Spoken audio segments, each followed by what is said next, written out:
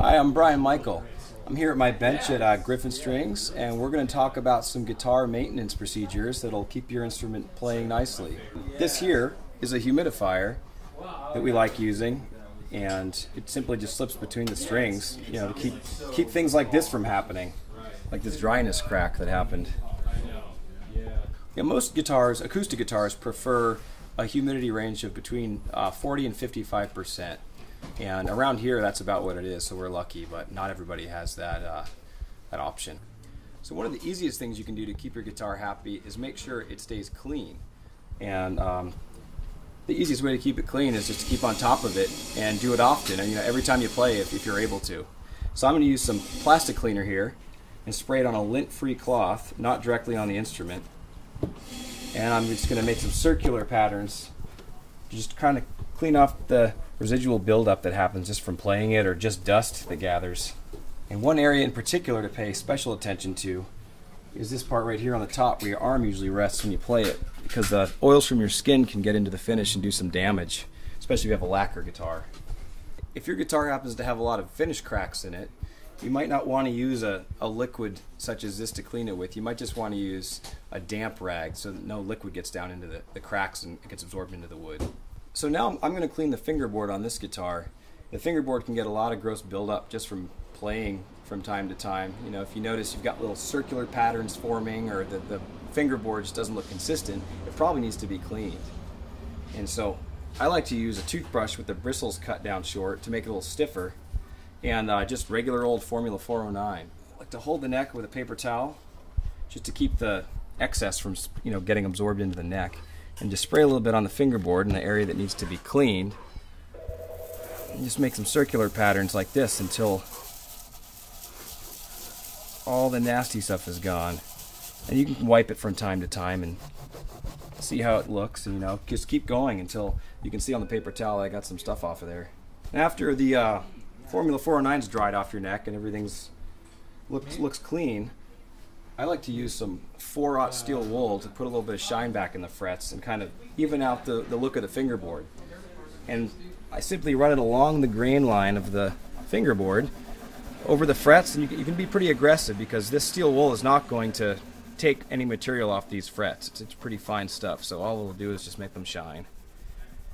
Be careful around the guitar's top so you don't scratch it with the steel wool. And afterwards, just blow it off. I, I luckily have an air compressor I'm going to go use. So here's how I like to restring a guitar. We're putting a new set of lights on this OM here. Start by loosening the strings with a string winder. And they can all be removed at once. You don't only have to do one. You know, if, if you have certain kinds of under the saddle pickups, you might want to only do one at a time. But this guitar does not fall into that category, so I'm going to take them all off at once. So once they're slack, use my string cutters here as a and my fingers as a fulcrum. And I'm not actually prying on the bridge, I'm using my fingers as a fulcrum to remove the pins.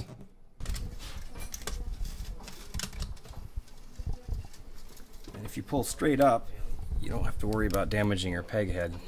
So I've got my bend in the string here. I like to put a bend in the string so that when the string is sitting inside the guitar, the pin won't catch the end of the ball because the ball actually sits against the bridge plate and the pin just holds it forward. So and I'm watching the winding as I push the pin down and making sure I don't see that winding disappear way down inside the guitar because that means the ball end is stuck under the pin. And how I like to wind them, to line the hole up with the length of the peg head and then push the string, string through until it sticks out about eighth of an inch. Start turning with my finger against it and make sure it gets a nice kink in it so it won't slip through. And then I go over the end of the string with the first strap and then underneath it with the next strap. And the only time I find it necessary to sort of tie the string is if I'm using a really small string like a 9 or a 10. As long as it's kinked, it'll, it'll stretch, it should stay uh, without slipping. So now that I have the strings on the guitar and relatively in tune, I like to stretch them out like this by putting, putting them between my pinky and my thumb and kind of twisting them along the string. You can be pretty aggressive, but you don't want to be you don't want to go too far. You can actually damage the string. And this really seats them, seats the ball ends against the bridge plate, and it seats the windings around the post to keep the strings in tune. So you shouldn't have to keep retuning if you do this properly the first time. So there are three major components to your guitar's action. Uh, one is the truss rod and the relief in the neck. One is the string height of the nut, and then the third is the height of the saddle. And here is how I like to check each one. I will start with the truss rod because I think that's the first place to start. and to do that, I hold the guitar up and then I make sure I'm holding the string down at the nut and at the body joint and I'm actually using the string as a straight edge and seeing how far it moves in the middle of the neck around the seventh fret. And I can judge by eye that it this is probably six or seven thousandths give or take, but I can also check with my feeler gauge if I'm not sure. Um, and that's about what I want on this guitar. Since it's a fingerstyle guitar, I don't want a lot of forward bow. And to check the string height the nut, what I like to do Oh, by the way, this is done with the strings all tuned up to pitch, to standard E tuning. Make sure the right tension's on the guitar. Uh, to check the, the action of the nut, I simply hold down the string at the third fret, or between the second and third fret, and look for movement over the first fret. And the B string is just barely moving here. The E isn't really moving at all, so my nut slot is either too low or just on the borderline of being too low. And I'll go through each string and check all that and see if I have to raise or lower the, the nut slots. And once the truss rod is checked and where you want it and the nut is dialed in, the third thing is to check the saddle height because that's the main component of adjustment really for action height. And how I measure that is with a, a machinist ruler here with uh, 64ths of an inch increments. I measure between the top of the 12th fret and the bottom of the string at the low E and the high E. So here I'm getting you know, just strong of 3 32nds of an inch or uh, 6 64ths on the low E. And at the high E, I'm getting just just above um, 4 64ths or 2 32nds. So this is just a little high, so I think on this one I want to take the saddle down just a touch. So on this Martin here, I'm going to demo checking the truss rod and then making a small adjustment. So as I talked about before, I checked the relief on this one and I see the string's moving a little bit more than I like in the middle, so the neck is a little too much forward bow. So I'm going to take my 5 millimeter wrench, and on, this Martin, the truss rod access is actually underneath the fingerboard down here. So I'm going to find that. Here we go. I'm going to tighten the rod, probably maybe a sixth of a turn here, just to see if that's enough. And I'll check it again. Sometimes I'll press on the neck gently just to kind of seat the truss rod. And that's more like it. That's what I want to see. Now, if the neck had been too straight, I would have I would have gone the other way with the rod. I would have loosened it a little bit and checked it. So tuning machines can be a, a problematic area on, on guitars when they when various parts of them become loose. Uh, they can cause rattles, and this one on these old Grover Rotomatics, when the buttons come loose, the worm actually gets pulled out and makes the guitar impossible to tune.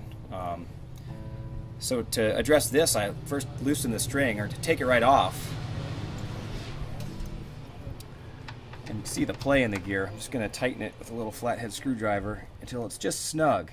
It's really important not to get these buttons too tight, or the little plastic washer that sits right here between the button and the metal collar can break.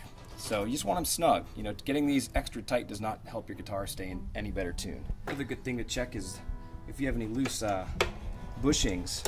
If the if the washers underneath the bushings are loose, they can cause a lot of rattles set off by certain notes you play. So most of these tuners take a 10 millimeter wrench. The old Grovers are a, a 3 8 but a 10 millimeter works.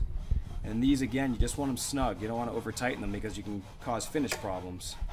Another good thing to check on the tuners while the strings are, are either off or very loose is that the the mounting screws themselves are tight. You know, so for that, just take a whatever screwdriver fits and just try to turn them. These, you know, you want these pretty tight, but uh, if they feel like they're stripped, then you might want to do something about filling the hole in and re-drilling it because it's important to keep those tuners tight on the back of the peg head.